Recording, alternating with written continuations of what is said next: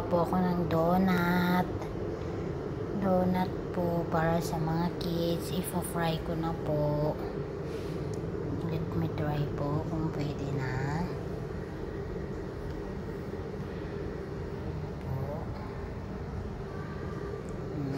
Gawa po ako ng donuts pang merienda. Kasi pa po dito, pinaparice ko lang po. Ayan po. Ito yung ginawa kong merienda nila. Tapos ito po, biscuit.